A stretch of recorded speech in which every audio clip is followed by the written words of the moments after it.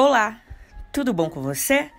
Seja bem-vindo ou bem-vinda ao nosso canal. Meu nome é Aline Araújo e no vídeo de hoje eu vou falar sobre como montar um mercadinho. Presta atenção nesse vídeo porque eu vou te passar tudo o que você precisa saber para começar.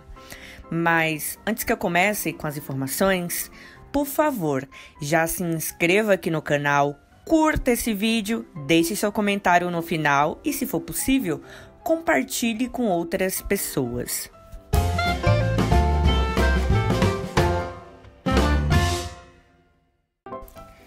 E a primeira dica que eu vou passar aqui para você é na hora de escolher a localização. Foque em bairros mais afastados do centro.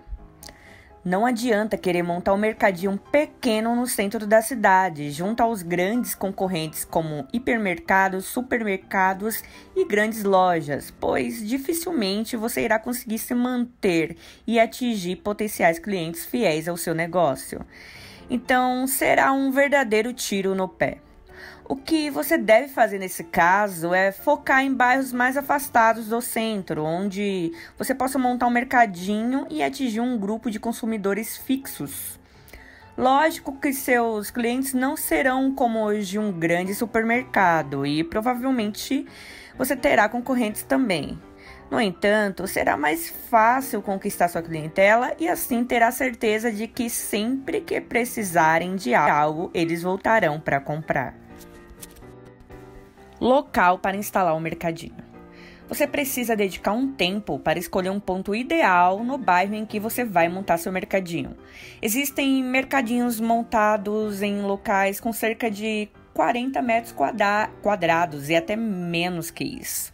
Tudo depende muito do que você tem em mente, mas no geral, com espaço medido cerca de 50 metros quadrados, já dá para abrir um mercadinho de bairro bem legal. Esse espaço precisa ser suficiente para colocar as gândulas e prateleiras de produtos. Logo na entrada, você coloca o balcão de atendimento. No fundo, pode ficar um pequeno banheiro e um mini estoque. O ideal é você trabalhar apenas com as mercadorias que estiverem na prateleira, já que a questão de estoque para o mercadinho é mais complicado por questão de espaço. Investimento para montar um mercadinho pequeno. Assim como todos os negócios, para montar um mercadinho de bairro, você precisa investir inicialmente um certo valor, que pode ser algo variável. Afinal, tudo depende do tamanho pretendido, da estrutura para trabalhar e de pequenos gastos comuns com a montagem desse tipo de negócio. Você vai precisar encontrar um bom ponto comercial para alugar, podendo ser em uma rua bem movimentada do bairro, e esse será o seu primeiro investimento.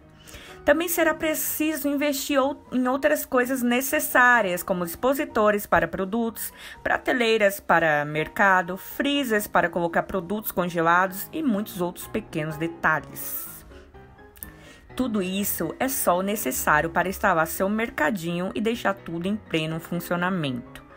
Como foi dito anteriormente, tudo é variável nesse tipo de negócio, mas de um modo geral, acredito que o investimento mínimo para começar fique na faixa dos 20 mil reais.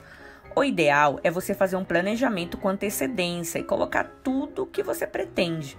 Dessa forma, você vai levantar todos os valores para ter uma ideia exata do valor que você vai precisar para investir. Encontre bons fornecedores para seu mercadinho. Em determinados locais, se torna bem difícil encontrar fornecedores para empresas muito pequenas, como é o caso dos mercadinhos de bairros. A nossa dica nesse caso é que você faça uma pesquisa junto aos grandes supermercados da sua cidade para tentar descobrir quem são seus fornecedores e assim você pode conseguir bons fornecedores com preços excelentes para você se tornar um mercadinho com preços competitivos na região. Aproveite também e faça pesquisas em outras localidades, na internet ou em catálogos comerciais para descobrir fornecedores de produtos. Como divulgar um mercadinho de bairro?